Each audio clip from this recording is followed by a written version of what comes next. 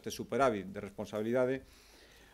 eh, dá os seus froitos. O se os dá con eses 20 millóns de euros máis para que as PEMES e os emprendedores poidan acceder ao financiamento e con eses 7 millóns de euros máis para crear 700 postos de traballo no medio rural para mulleres e para xente moza. Eh, dá froitos hoxe, vai nos dar tamén no día de mañán, pois estamos convencidos que estamos dinamizando o noso tecido económico, impulsando a presión de emprego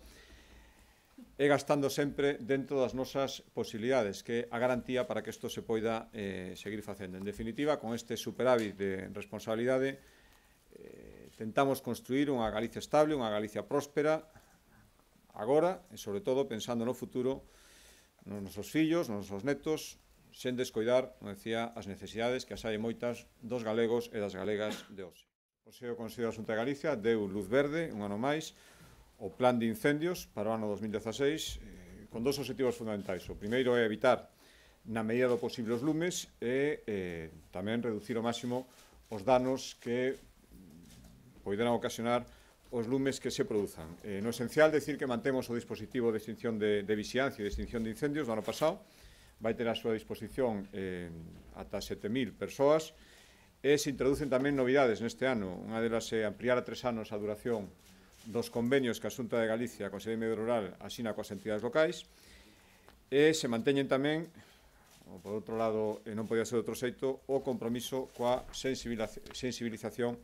na prevención dos lumes e persecución dos incendiarios. A consolidación do sistema estatístico de Galicia,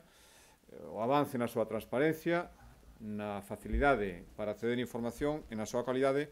a través da aprobación que hoxe fixo o Consello da Xunta do proxecto de lei do Plan Galego de Estatística 2017-2021. Está dirixido a reforzar a colaboración cos organismos estatísticos estatais europeos,